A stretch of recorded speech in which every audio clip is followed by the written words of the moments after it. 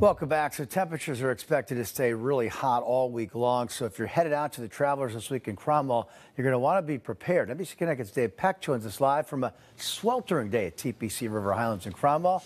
Dave, uh, you look as well prepared as you can be for the elements. I got my sunscreen. I've been drinking water all day. It's been good. I will say, honestly, there's been a nice breeze, which has kept it from maybe feeling like mid 90s. But one fan who we spoke with earlier said this is by far the hottest she's ever experienced here. The good news is, is that Trinity Health and Travelers have plenty of resources throughout the course to help that out with that. The only good thing about the heat today, heat in the mid 90s, it gives some of us a chance to beat the temperature.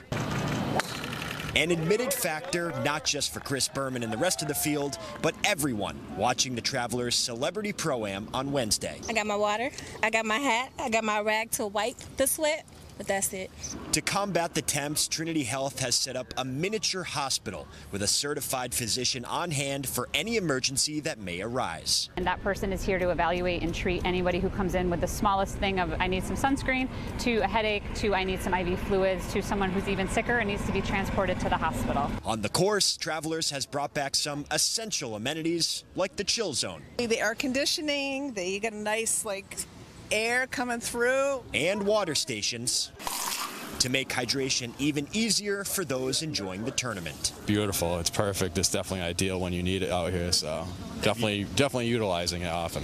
As will thousands of others battling through the heat to watch the best in the world. Wearing clothing that's appropriate, lighter colored, loose fitting clothing, bringing a hat to shield from the sun, bringing sunscreen, bringing an empty water bottle that can be refilled throughout the course of the day.